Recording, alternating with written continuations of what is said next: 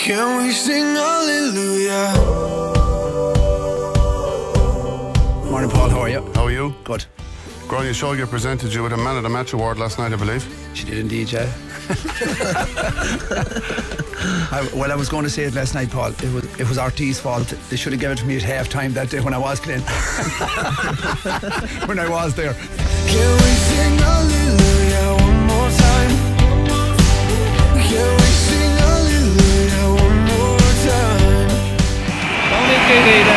65, getting his first point of the match and Galway score. Have you any nervous energy today, Tony? Because you're going out onto the pitch today, of course, as part of the Jubilee team. What is us that's bringing the 82,000 here today? And tell me this, um, you're apparently a great man for the suits. What kind of a suit have you for to wave at the Croke Park masses today? It's a lovely cartel suit, Paul. To, it wouldn't suit you now. Got to go to Brendan Lynskey.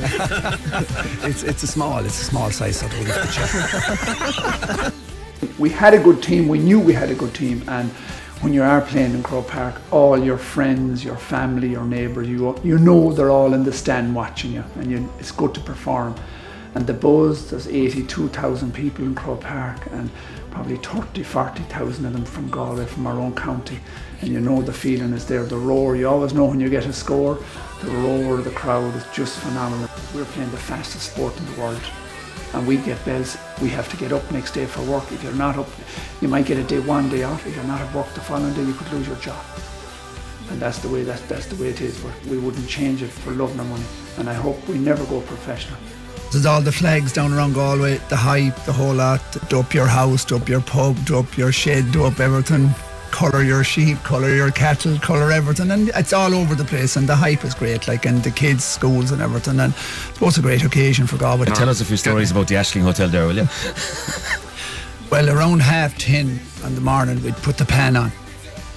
We'd have myself and Lynskey above in Dublin, and we'd have a good feed of rashers and sausages because Where was it? Hey, where, where was the nutritionist at this Yeah, th- that's what I'm just coming on to now. And uh, we were always saying we, we should have had cornflakes and a banana, but if it was Kilkenny you were playing, I think you really needed the rashers and the sausages And, and, and don't forget the. Weetabix as well. the Weetabix. Are you sick of being on the last team to win the Liam MacCarthy Trophy at this stage? Well, you, want, you want to hand it over to a new generation at this stage, do you? Well, Aidan, Aidan won't agree with me anyway, but Jeannie Mac tonight, if another year goes on to this, if we go to 28, like, you know, as I've said down in Galway, like, if we do win today, people that have to tell us how to celebrate, like, you know, we're so long.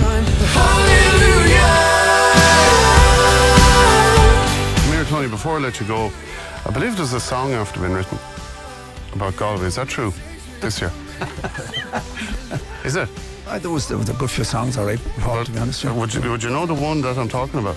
Um, I, I don't want to be honest, you know. we- do we heard it there earlier on there? Would you give us a bar of that song? That's like No, I'm only drinking water. at the All right, go moment. on. Give us, a, give us a few bars of it. Any hope of it, no? Do you really You're, want me you're, to? you're on the national airwaves now. We have to wind it up.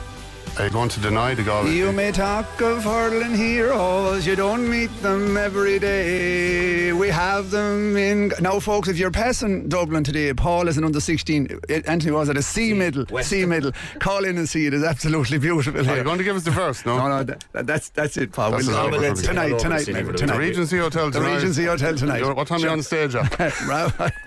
Probably won't get off it at all if we win. So you know that you're a living legend? Oh, that's what they say anyway. But we had good days. We had great days. Great days.